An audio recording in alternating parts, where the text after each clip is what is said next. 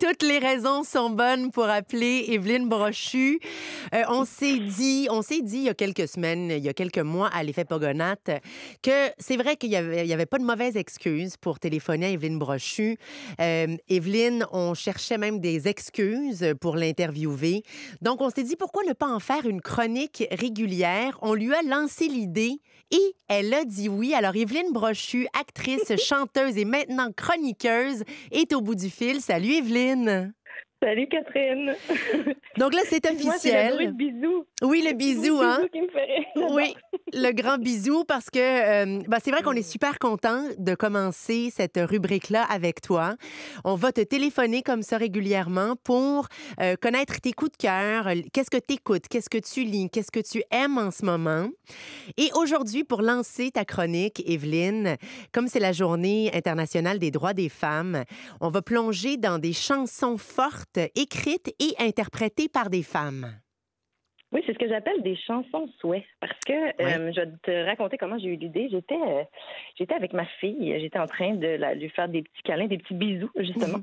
puis elle me faisait des espèces de gros sourires. Puis là, comme je peux pas vous le limiter, je vais vous le décrire. C'est un peu comme euh, le sourire d'Elvis ou de Bernard de Rome. Là, tu sais, ça part un peu plus grand que le sourire pour se finir en sourire je me suis dit, quelle fille joyeuse! je me suis surprise à lui souhaiter qu'elle le reste et m'est venue en tête cette chanson de Annie DeFranco qu'on va écouter à l'instant. Oui. do it for the joy it brings. Cause I'm a joyful girl. Cause the world owes me nothing. We owe each other.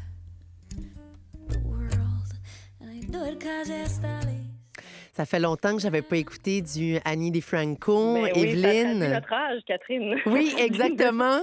Pourquoi tu as choisi cette chanson-là, Joyful Girl?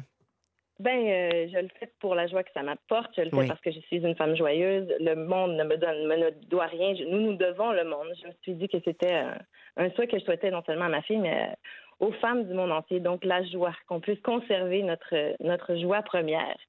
Alors, souhait numéro un, donc la joie. la joie. Oui. Le deuxième, l'apaisement. On écoute une chanson de ah. Clara Luciani, puis euh, on s'en parle après. OK.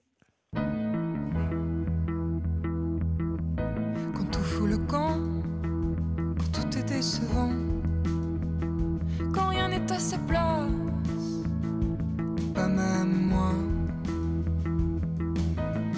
tout me lasse, quand tout est dégueulasse, quand rien ne vaut la peine, pas même moi.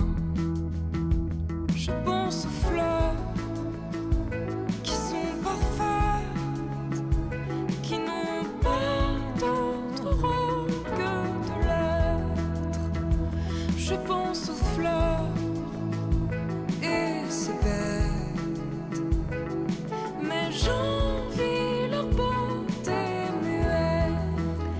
Les fleurs de Clara Luciani, ton deuxième oh. choix, Evelyne Brochu. Je crois que Clara Luciani, c'est quelqu'un en plus que tu aimes beaucoup comme être humain. Et mon Dieu, je l'ai rencontré au festival d'Angoulême au mois d'août quand on avait encore le droit de prendre l'avion. Et puis j'ai eu un gros coup de cœur. C'est pas pour rien que cette fille-là écrit des chansons euh, aussi magnifiques, c'est parce que c'est une personne magnifique. Donc voilà, j'avais un peu envie de, de, vous présenter La Grenade.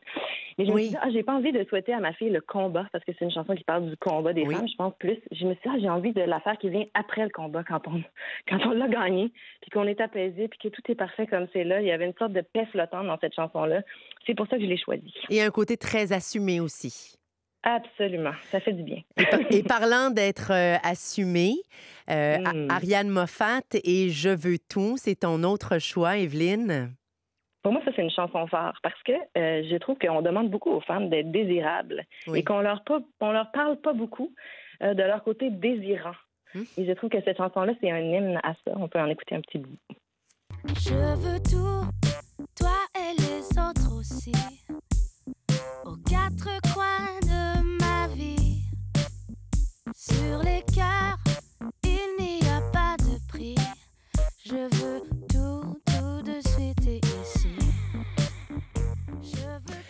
Ariane Moffat, oh. Je veux tout, une chanson de, de gourmandise aussi. J'attends tout de la vie.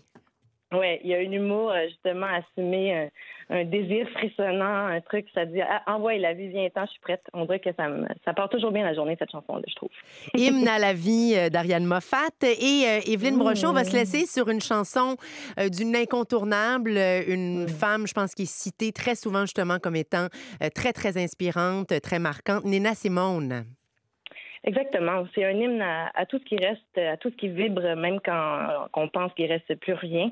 C'est ce que je souhaite à ma fille et aux femmes en général d'être euh, des maîtresses toutes puissantes de leur corps et de leur force vive. Et c'est ce que m'inspire cette chanson. C'est vraiment des, des très beaux souhaits, ça, Evelyne Brochu. Euh, et j'ai envie de lancer l'invitation aux auditeurs. Euh, vous aussi, vous pouvez y aller de votre chanson souhait pour votre fille ou pour n'importe quelle fille que vous aimez. Donc, allez-y sur mes réseaux sociaux. Je vais vous poser la question quelle est la chanson souhait, la chanson phare interprétée par une femme que vous aimeriez offrir?